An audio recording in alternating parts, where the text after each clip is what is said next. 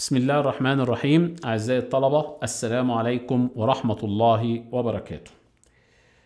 استكمالا لموضوع الإجهادات في ال soil اللي هو chapter four من soil mechanics أو course ال soil mechanics المخصص لقسم الهندسة المدنية المستوى السابع.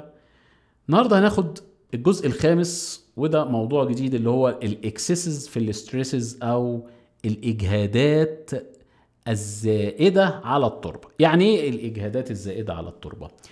إحنا عندنا التربة اهي صح؟ النقطة اللي موجودة على التربة تحت ديت اللي هي على عمق مثلا زد مبدئيا عليها استريسز من غير ما أبني عليها أي مباني أو يحصل هبوط في منسوب المياه الجوفيه أو يحصل أي تغييرات.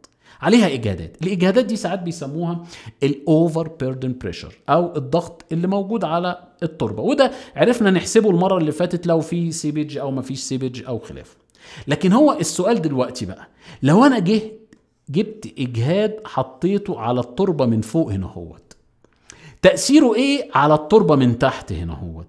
هل قيمته هي هيها تحت؟ لا طبعا الموضوع مختلف. هنشوف إيه الحالات اللي هي مقررة عليك السنة دي إزاي أجيب تأثير إجهادات موجودة فوق على سطح التربة عند نقطة على عمق زد من آه سطح التربة؟ إزاي أجيب الإجهادات الزائدة؟ فأول حالة لو أنا عندي الحمل ده حمل ماله مركز.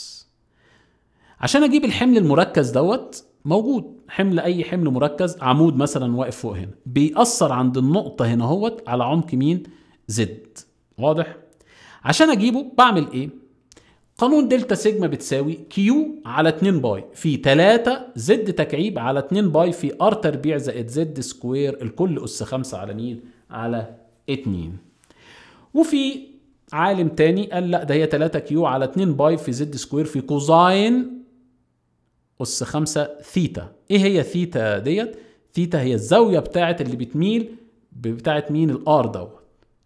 وفي واحد اسمه Boussinesq ريح الدنيا خالص وده اللي هنشتغل بيه. delta sigma قال بتساوي Q على Z square يعني اقسم Q على Z square. واضربها في حاجة اسمها NB. NB دوت دوت رقم انت هتجيبه من الجدول اللي قدامك بتاع Boussinesq هنا. على حسب ال R على مين؟ على ال Z بتاعتك. فين ال R وفين ال Z؟ لو تبص كده ال R بتاعتك اللي هي ديت شايفها اللي الحتة دي. وال Z اللي هي ديت. فأنا بقسم ال R على ال Z أخش على مين؟ على الجدول ده أطلع قيمة مين؟ ال NB يبقى أقدر أجيب تأثير ال delta sigma. عايز بس أقول حاجة قبل ما أنقل في الجزء الثاني خلي بالك التأثير ده بيبقى قيمته الكبيرة فين؟ موجودة هنا يعني عند النقطة ديت. لكن كل ما أنزل لتحت تأثيره بيحصل له إيه؟